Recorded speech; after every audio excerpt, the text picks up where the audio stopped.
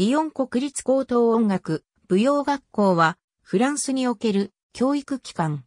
1980年、国内で2校目の音楽、舞踊のための高等教育機関として設立された。リヨン国立高等音楽院とも呼ばれる。通称は CNSMDL。フランス文化省、音楽、舞踊、演劇、芸能局を貢献監督とする行政的公施設法人。音楽家、ダンサー、バレエダンサーの養成機関としては、パリ国立高等音楽、舞踊学校とともに、国内トップクラスの一つであり、フランス国立高等音楽院に属する。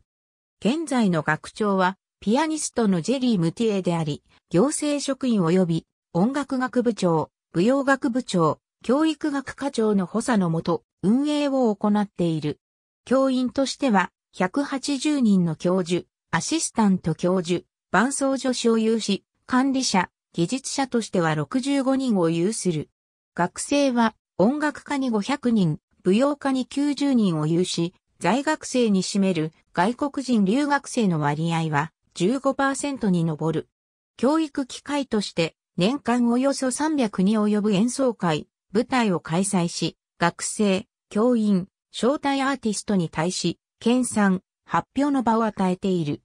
欧州共通の交換留学制度、エラスムスプログラムに参加しており、欧州外との共同教育プロジェクトにも参加している。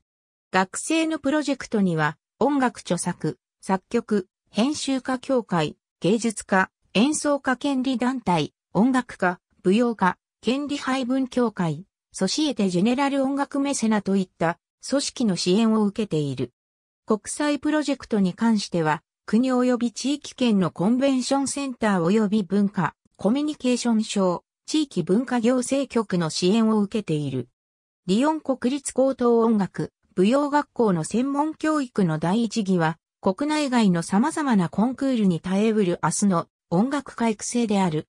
教育課程は2段階から構成されており、3年間の第1課ほどを修了した場合、音楽、またはダンスの国家高等専門研究資格が支給される。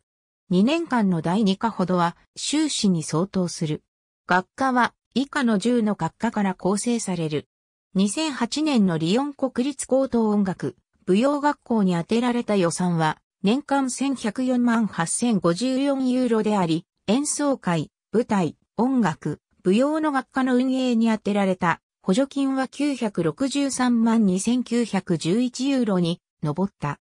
リヨン旧市街の北、旧区内に位置する。この歴史的建造物は、もともと建築家シャブロルによって16世紀半ばに設計されたキリスト教の集会施設であり、17世紀にはサンテリザベート修道院と呼ばれていた。1762年にクロード・ブールジュラによって世界で初めて作られた獣医学校として使用され、フランス革命の後、リヨン獣医学院となった。1988年に改修、増築を経て、リヨン国立高等音楽、舞踊学校の校舎となった。ありがとうございます。